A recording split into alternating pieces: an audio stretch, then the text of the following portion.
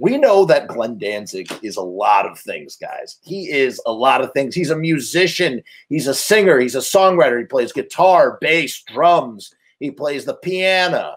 He's a composer, he is a writer, he is a director, he is an actor. He was a record label owner and runner. He's a graphic artist, he's a photographer, and he does illustration. He runs a comic book company. He's an art dealer. For better or for worse, he does it all. It's really kind of weird to think that Glenn Danzig was also a movie critic.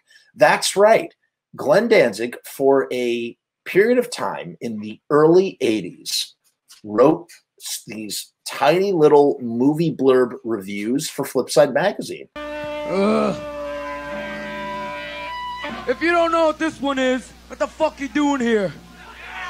Road Warrior, another one of my absolute favorite films. I was blown away to think that one of my favorite musicians reviewed one of my favorite films. Kind of kind of blew my mind. It's weird to hear Glenn talk about Mad Max. Mad Max is the reason why I wear a leather jacket today. Mad Max was my Star Wars growing up. That was my Star Wars.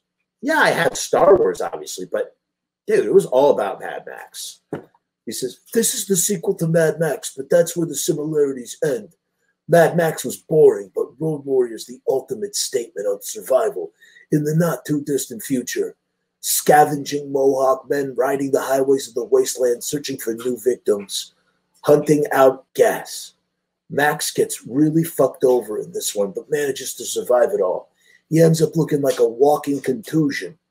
Plenty of harsh brutality, violence, rape, murder, and death.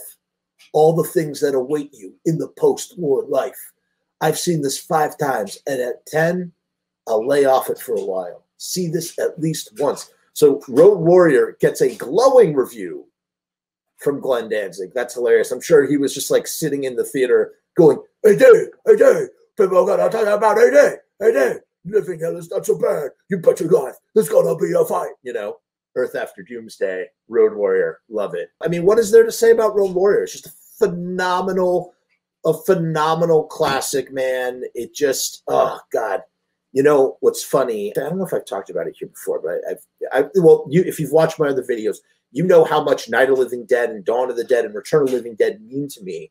And while I love Return of Living Dead, I don't think I could ever make Return of Living Dead. But as a filmmaker, I was talking about being a filmmaker one of my dreams would be to do my own version of Night of Living Dead. And if I did, it would basically, I would take the plot of The Road Warrior, kind of, and then transpose it onto the plot of Night of Living Dead.